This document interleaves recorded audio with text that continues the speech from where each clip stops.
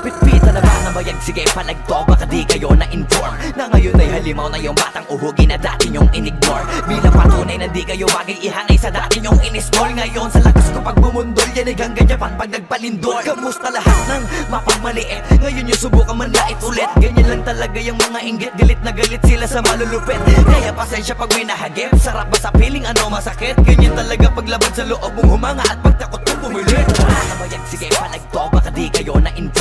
ngayon ay halimaw na yung batang uhugi na dati nyong inignore. Bilang patunay na di kayo bagay ihanay sa dati nyong inismol Ngayon sa lakas ko pag bumundol Yan ay hanggang Japan pag nagpalindol. Kamusta lahat ng mapagmaliit Ngayon yung subukan man lait ulit. Ganyan lang talaga yung mga inggit. Galit na galit sila sa malulupit. Kaya pasensya pag may nahagip. Sarap ba sa piling? Ano masakit? Ganyan talaga paglabad sa loob mong humanga At pagtakot pag nagpalindol Kamusta lahat ng mapagmaliit? Ngayon yung subukan man lait ulit Ganyan lang talaga yung mga inggit. Galit na galit sila sa malulupit. Kaya pasensya pag may nahagip. Sarap ba sa piling? Ano masakit? Ganyan talaga paglabad sa loob mong humanga at